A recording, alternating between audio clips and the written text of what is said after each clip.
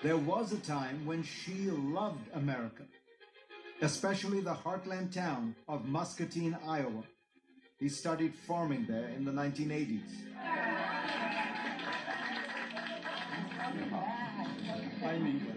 then came back just as he was about to become president of China. I feel, he says, like I'm coming home. I want to welcome Vice President Xi uh, to the Oval Office. Xi also went to the White House. And in LA, he took in a Lakers game. Self confident, gregarious, even westernized in his way. America was charmed. Well, it's inappropriate, but I love that man.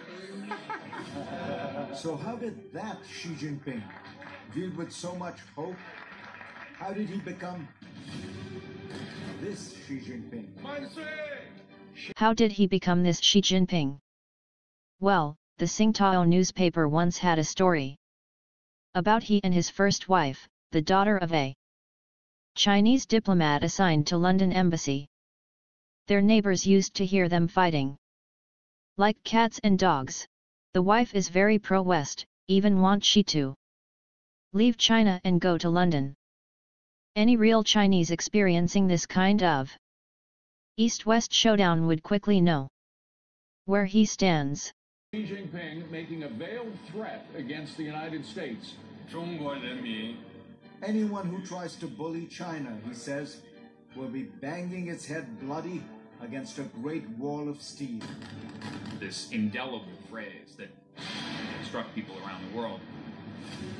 Many China scholars do not recognize the Xi Jinping they see now. I didn't see, I don't think any of us saw the kind of dictatorial, sycophantic control freak that he has become. China is much more of a dictatorship today because of Xi Jinping. That's a recipe for serious danger. Xi Jinping is the most repressive leader China has seen since Chairman Mao. In just the last few months, he has handed down dozens of new orders. They seek greater state control over everything from education to technology to entertainment. Good leaders are hard to come by these days. This is how a feudal emperor protect the people and rules the land. Things as simple as who you can admire in the movies, every piece of entertainment culture. No more effeminate men on television. China calls them sissy men.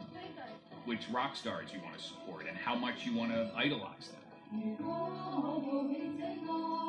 Also forbidden, karaoke songs that endanger national unity. Many video games no longer allowed.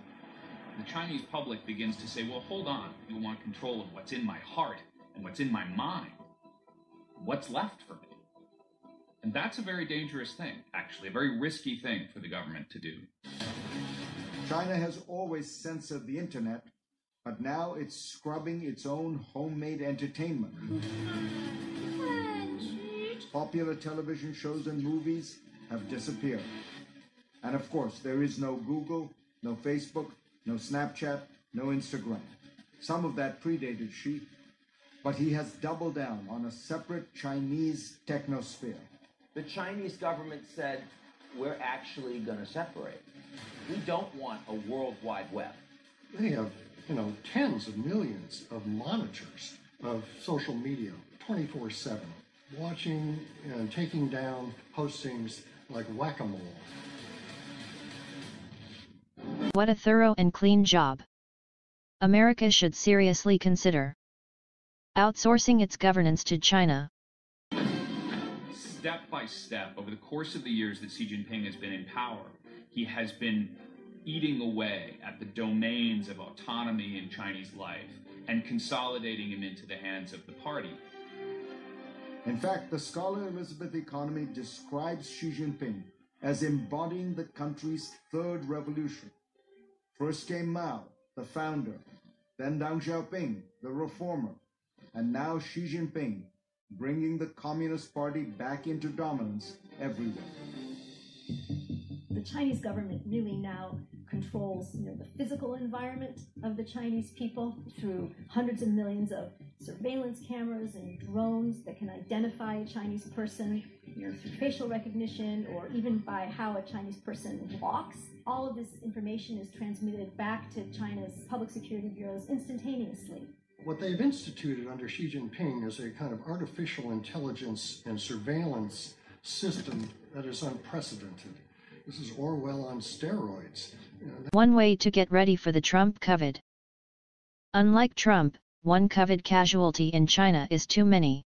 that includes watching Xi Jinping app on your cell phone. The Xi app is on many Chinese phones. Its purpose to help people study Xi Jinping thought. That's right. Study what he thinks about everything. Xi Jinping's sayings, his speeches, his activities, and party dogma, and then take quizzes. And they have to report those quizzes uh, to the local uh, party head of their work unit. There's even a game show. How much do you know 请抢答， about Xi Jinping thought? 答对了。